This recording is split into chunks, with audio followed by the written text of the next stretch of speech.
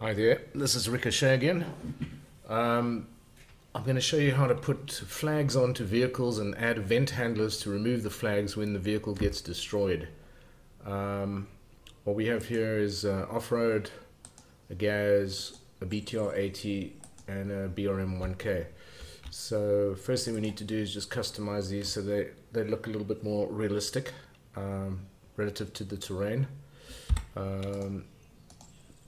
So um, if you right click on the vehicle, edit vehicle appearance, and in this case I think I want something that's a bit browner than that. Kind of, hmm, make it dark brown. Okay, that's fine.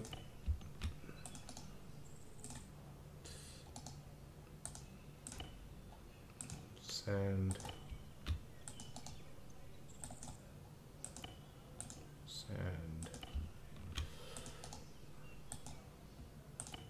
Sand. Okay this one's still not right let's just go back here.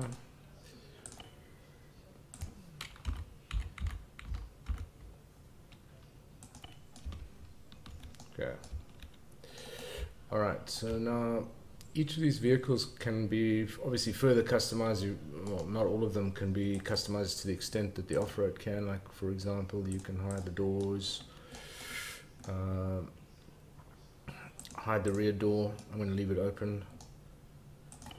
Okay, so these are vehicles. Now we're going to put flags on. Now, if you look at individual vehicles, you obviously got to take into account what the flag, where the flag position is going to be. Is it going to be obstructing the gunner's position? In this instance, I'm going to put the flag at the back at an angle.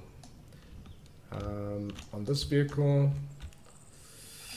given that the gun most likely, unless it's shooting, obviously it's an AA gun, but it, it, I don't know if you've ever been shot by one of these things, it was quite unpleasant, especially if you are on the ground. Um, and obviously I can't really position a flag anywhere here because the gun's going to turret's going to hit the flag. So probably we'll either place it here or somewhere over there, just outside of the arc.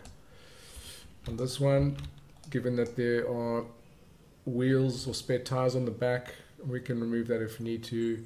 But you, this normally has um, soldiers sitting on it, so I'm going to position it right at the back, also at an angle like the off-road. Same thing with the, the BRM. I'm going to position it probably sticking out the back at an angle. Alright, so I've written a script to for each of these vehicle types so that you don't have to go name the vehicles individually and create special flags, I mean individual flags for each of these objects. So um, in the init field on each of these vehicles there is a, a script with uh, no, no handle. It passes the vehicle uh, to the script and uh, runs a little a little uh, script called flag offroad.sqf same thing on this one. This is runs the GAZ GAZ script. This one runs the BTR script strangely enough BTR 80 and um, this one runs the BRM script. I've spent quite a lot of time working on the actual flag positions and uh, the offsets and the, the angle, the set uh, vector direction and up, uh, which is a really kind of a complicated um, command. And it's really recommended for people enjoy, who enjoy a little bit of a headache and just general pain and suffering. Um, the first part of this command deals with the direction, and the second part, strangely enough, deals with the vertical position. So um, anyway, these these positions were the ones that I kind of came up with in the uh, an orientation or things that I came up with myself. So you may not necessarily agree with them, but they may they may be of use to you. Um, okay, so we've got the scripts running. We've got the scripts installed uh, on each of these vehicles. Now we have to create a, a flag texture. So uh, I'm going to go in, I've already made some flag textures. In this case, um, the flag is 256 by 128 in dimensions. Um, I'm just going to make some arbitrary uh, image, black background, you know, circle, and then a that's a JPEG file, and then uh, which is fine for flag texture, uh, as long as it doesn't require transparency background. If you need, like in this case, the second flag, the flag that will replace this flag when the vehicle has been destroyed, obviously we need a transparency section because part of the flag's being destroyed. So um, what I've done here is, and I've saved this as a PNG file. We'll convert it to a PAA because PNG, uh, you can't use PNG in Arma 3. So um, I basically just deleted part of the flag, used the blur, um, a smudge brush, uh, use a burn tool, which basically just changes the, the hue to a darker reddish brown. And essentially that's the texture I ended up with. So that's flag 2 PNG, that's flag 1.jpg. Very important. Okay, so now what we do is we go into um, Arma 3 tools. So if you don't have Arma 3 tools, um, you can install it. Just go to your library, go to tools, go find Arma 3 tools, click on it, install. It's all nice and free, courtesy of Bohemia. Um, all right, so let's just install, I mean, let's just run Arma 3 tools. Because the reason we're doing this is because we're going to change the image to PAA file. So what we do is we grab the PNG file, must be a PNG, go to there, drop it in, flag 2, PNG, process the file, yes, bump out pops the image flag 2 PAA. So what we'll do is we'll um, we'll go here, drop the flag 2 P, uh, PAA in, which I've kind of already done, and the flag 2 uh, flag 1.jpg. Okay. Then we now have the flag, the the standard flag image and we have the burnt flag image. As I said, the burnt flag image must be a PAA converted from PNG so that the transparency layer is, uh, is visible. Okay, so now we need to get to the little script. Um, it was actually quite surprisingly difficult to, to do this. I mean, deleting the flag after the, the vehicle is destroyed is relatively simple, but replacing the flag was a little bit more tricky. Um, the important thing is that all of these commands are have an, a global effect, meaning that in a multiplayer game, these are going to um, be synchronized and, and uh, uh, synchronized across the multiplayer network and with all clients. So it's critical that you run it on the server because if you run this on each individual client in a, through the editor, um, the risk is that you'll have multiple int, multiple instances running of each of these objects, uh, dependent on the number of client machines that are connected. So um, in this instance, uh, remember we passed this being the vehicle to the script, so we need to pull that vehicle identity out of the script, and we do this using uh, this select zero. The first, the zero is the first element in the array. So vehicle is the vehicle that we're putting the flag on. The flag we're going to use is an RHS flag. Uh, we're going to just create it with uh, standard position um, or zero. Then um, we're going to attach it to the vehicle. And these, these attachment um, X, Y, and Z uh, positions are through a lot of trial and error, mostly error. Um, then we set the vector direction and up which was mostly error again. Took a hell of a long time to find the exact position. Best way to do that is to switch on the debug console in the editor and to run that command until you position the flag exactly the way you want it by manipulating these um, this, these arrays. And once you've got it in position, you can copy the data out of the um, debug console, stick it in a script. Um, so then what we do is we set a flag texture, which is uh, in this case uh, flag1.jpg. I think it was flag1, yeah, flag1.jpg. And then, uh, so that's the default flag that will be immediately added to the vehicle. At the same time, it then adds uh, a multiplayer event handler. Again, this is very important.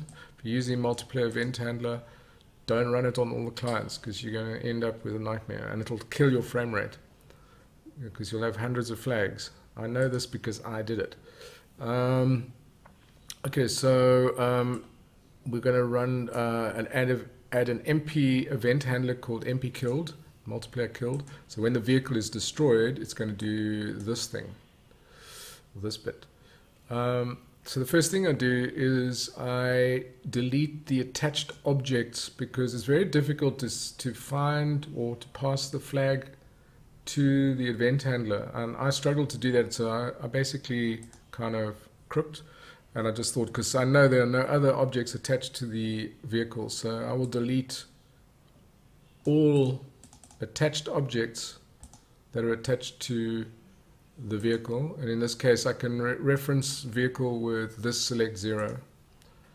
So I remove the flag that any flag that's on the vehicle. It's also a double check in the event that for some reason I made a mistake and I've added more than one flag. It'll remove all attached objects.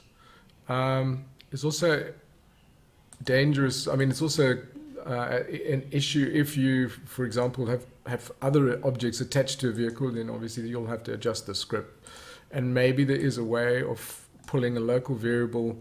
I didn't want to have to write a script for every single or, or do this manually for every single vehicle because uh, as it happens in this particular mission, I've got like over 30 vehicles that are going to have flags on them.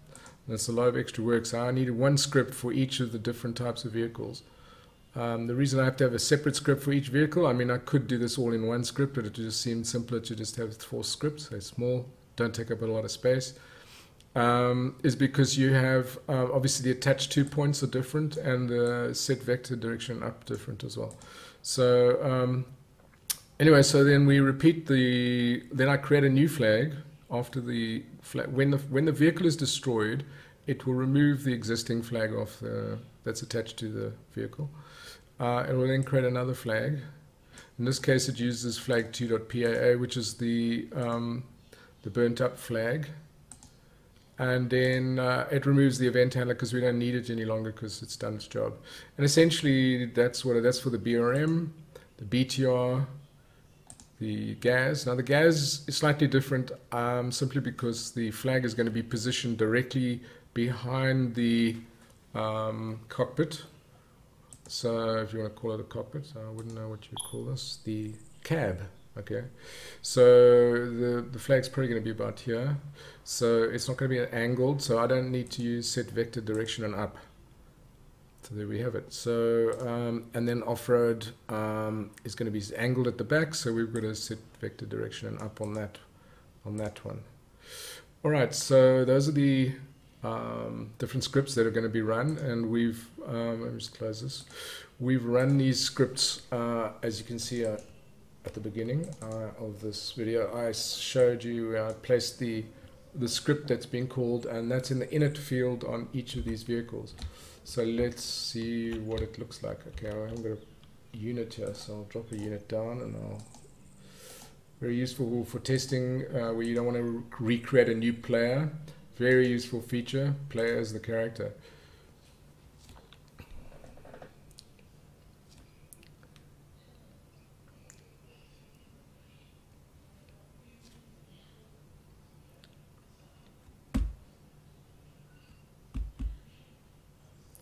Alright, so there we have our strange looking flags. Um, if you just have a look at the offset, do not be alarmed by the firing. If you are following this series of videos, then you'll know that that's the shooting range where guys are getting some practice. So um, there's the flag and it's offset, so when the other units are sitting on this vehicle, if there are any, they're not going to be obstructed. Same thing applies here. Um, I think the offset's about right. It doesn't seem to uh, interfere with other with the units sitting on it. Uh, this one here is stuck through the roof. I think it just about works. Um, it's just slightly outside of the arc of the gun. And then you've got um, the off-road. Okay, so now let's destroy the vehicles. The vehicles are all quite close together, so there's going to be like a chain reaction here as the event handler kicks in. um, on each machine.